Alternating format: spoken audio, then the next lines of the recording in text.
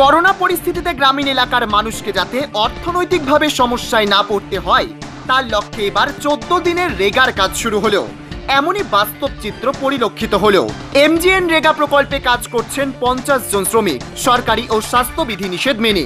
Teliamura RD ব্লকের অধীন বিবেকানন্দ গ্রাম পঞ্চায়েতে পঞ্চাশ জন শ্রমিক মিলে ল্যান্ড লেভেলিং এর কাজ করছে। টিলাভূমি থেকে মাটি কেটে পুকুরের পার বাঁধানো ও রাস্তায় ফেলা হচ্ছে। কারণ এলাকার অধিকাংশ মানুষই কৃষিজীবী। বৃষ্টির সময়ে কৃষকদের যাতে যাতায়াত করতে কোনো অসুবিধা না হয়, তার জন্যই অগ্রিম এই উদ্যোগ। এ ব্যাপারে গ্রাম পঞ্চায়েত প্রধান নির্মল সূত্রধর জানান, গ্রামীণ এলাকার মানুষকে যাতে এই সময়ে অর্থনৈতিকভাবে দুর্ভোগ পোহাতে না হয়, তার জন্য এ সময়ে চোদ্দ দিনের কাজের বিশেষ উদ্যোগ।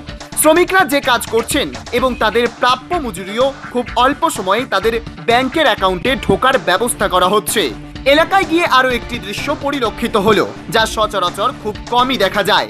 এলাকার প্রধান নির্মল সূত্রধরকে হাতে কোদাল নিয়ে মাটি কাটতে দেখা যায়। এতে কাজে আসা অন্যান্য শ্রমিকদের মধ্যে কাজ করার একটু বাড়তি উৎসাহ পরিলক্ষিত হয়। কতদিনের এসেছে? এখন এসেছে চোদ্দ দিনের। চোদ্দ দিনের। কোন পঞ্চায়েতের এটা? এটা দিলে আমার আরডি ব্লকের অন্তর্গত বিবেকানন্দনগর গ্রাম পঞ্চায়েত। এটা কি কাজ হচ্ছে এখন? এটা ল্যান্ড লেভেলিং কৃষি জমি লেভেলিং হবে। কতজন শ্রমিক আছে এখানে? এখানে আছে পঞ্চাশ জন। তারা সঠিক সময়ে মজুরি তাদের পায়নি? হ্যাঁ অবশ্যই। আমাদের বিবেকানন্দনগর গ্রাম পঞ্চায়েতে করোনা মহামারীর সময়ও আমরা সরকারি নির্দেশিকা মেনে প্রত্যেকটা ওয়ার্ডে কাজ করে যাচ্ছি। গত কিছুদিন আগে আমরা বারো দিনের কাজ দিয়েছিলাম এখন আমরা চোদ্দ দিনের কাজ দিয়েছি। তো আগামী মাসে আবার কাজ হবে। এটা কত নম্বর ওয়ার্ড? এটা ছয় নম্বর ওয়ার্ড। কি মনে করতেছেন এটা? এগার কাজ দিয়ে কি মানুষের অর্থনৈতিক দিকটা কি একটু পরিবর্তন হইতে পারে? অবশ্যই বর্তমান সময়ে আমাদের গ্রামীণ এলাকার যে সমস্ত কৃষি কৃষিজীবী ব্যক্তিরা রয়েছেন বা যারা শ্রমজীবীরা রয়েছেন তাদের কাজকর্মে অনেকটাই ব্যাঘাত ঘটেছে।